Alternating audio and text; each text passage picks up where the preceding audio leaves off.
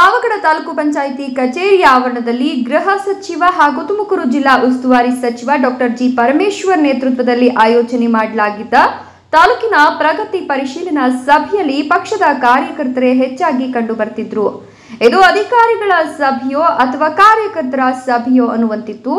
Police ಅಧಿಕಾರಿಗಳು ಈ ಕಾರ್ಯಕ್ರಮ ಪ್ರಾರಂಭಕ್ಕೂ ಮುನ್ನವೇ ಮಾಧ್ಯಮದವರನ್ನ ಹೊರಗೆ ಕಳಿಸಲು ಮುಂದಾದ್ರು. ಆದರೆ ಪಕ್ಷದ ಸಾಮಾಜಿಕ ಜಾಲತಾಣದ ಸದಸ್ಯರಿಗೆ ನೀಡುವ ಗೌರವ ಮಾಧ್ಯಮದವರಿಗೆ ಪಾವಗಡ ತಾಲೂಕಿನಲ್ಲಿ ಇಲ್ಲ ಅನ್ನೋದು ಇದರವರೆಗೆ.